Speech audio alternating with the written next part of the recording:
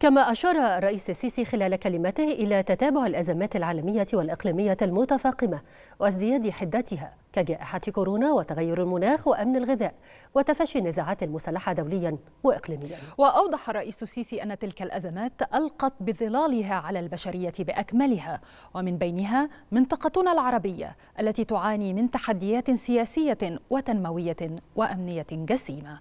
لقد تتابعت الأزمات العالمية والإقليمية المتفاقمة وازدادت حدتها كجائحة كورونا وتغير المناخ وأمن الغذاء وتفشي النزاعات المسلحة دوليا وإقليميا والتي ألقت بظلالها على البشرية بأكملها ومن بينها منطقتنا العربية التي تعاني من تحديات سياسية وتنموية وأمنية جسيمة بما فيها مخاطر انتشار الإرهاب على نحو يطال استقرار شعوبنا ويهدد كذلك حقوق الأجيال القادمة.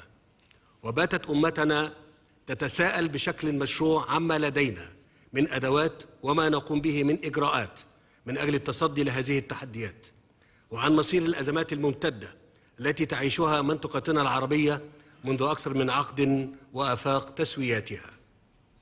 ويتعين في هذا السياق أن تكون لدولنا ومنطقتنا إسهاماتها الملموسة في صياغة حلول دائمة غير مرحلية لتلك التحديات المعاصرة على أسس علمية وواقعية.